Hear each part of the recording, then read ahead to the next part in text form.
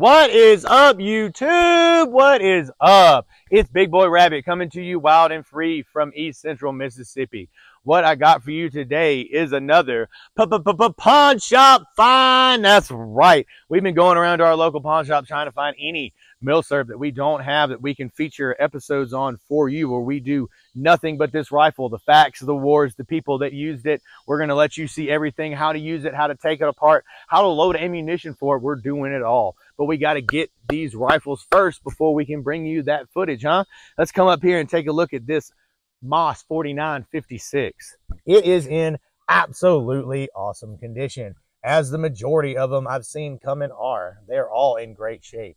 It's got plenty of blue in it, really doesn't have much patina. Of course, up here where they fire the rifle grenades has been wore off. Flip it over. It's got the rifle grenade sights. You flip this up, cuts the gas system off, and then you pull this out and flip it up and you're going to aim off the tip of the grenade on this so you can launch that bad boy down range and get those uh, enemy out of the hole, uh, that trench that they're laying in.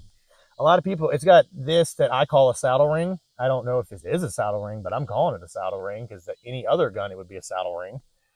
It has a direct impingement system, much like the Hakim and the M4, which is fine. it's a decent system as long as you clean your weapon. You can feed it either by stripper clips or, like I just did, slapping another magazine in that sucker, pulling it back, letting it go, and you can uh, keep fighting the enemy.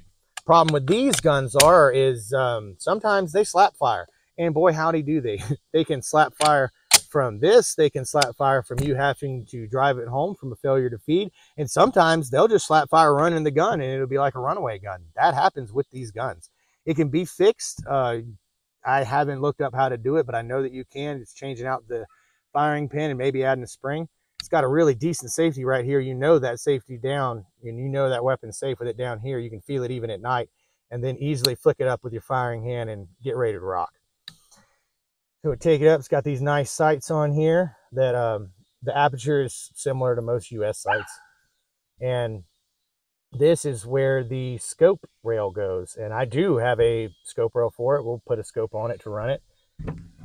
And on here, the markings is, of course, MAS, MLE, 1949 and 56 caliber 75 French. A lot of these have been converted to 762 NATO. I don't want to say they were converted to 308 because a 308 can blow up a 762 NATO, but a 762 NATO shouldn't blow up a 308. So if you're putting 762 NATO in your 308 guns, you should be fine. This is a 75 French model, which I like. I want all mine in as original condition as I can get them for when we show y'all shooting. You know what these were like when they were on the battlefield. This one's in excellent condition. It's show quality, and we're going to try to keep it in show quality. So as always, like, comment, and don't forget to bayonet that bell. Subscribe for more videos.